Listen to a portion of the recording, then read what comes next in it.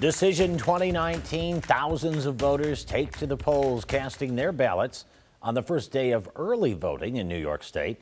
Polls closed at 6 this evening and we saw some good turnout, but there's still time to go vote before Election Day.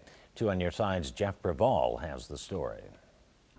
Thousands of voters in Erie County jumped on the opportunity to cast their ballot in the November elections, heading to the polls in the first day of early voting. We had a, a pretty busy day this morning. It, it, voting started off really heavy and kind of tapered off towards the end. Were any issues reported?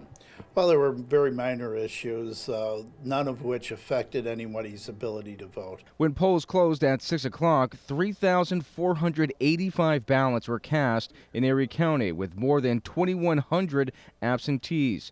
For you political junkies out there, that's a turnout of nearly 1%. Did that exceed expectations?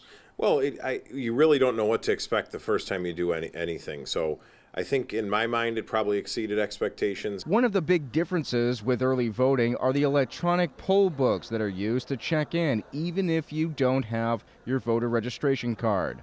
We can still look them up on the tablets that we have now and um, be able to get them in and out with no problem and they can go back to their shopping. At the Leonard Post VFW in Cheektowaga, we found Marie Gordon. She had one complaint. It's a little crowded in there, a little too, it's not enough space, I would say.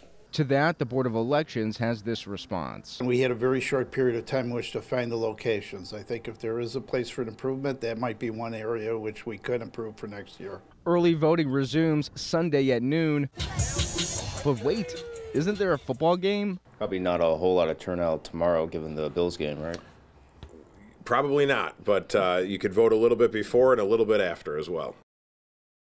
Yeah, now hours for early voting tomorrow go from noon to 6. Now, some of you may wonder, where is my ballot during early voting? And it actually stays at the polling location you went to. It stays locked up, and the Board of Elections has a backup data chips in case anything happens to it.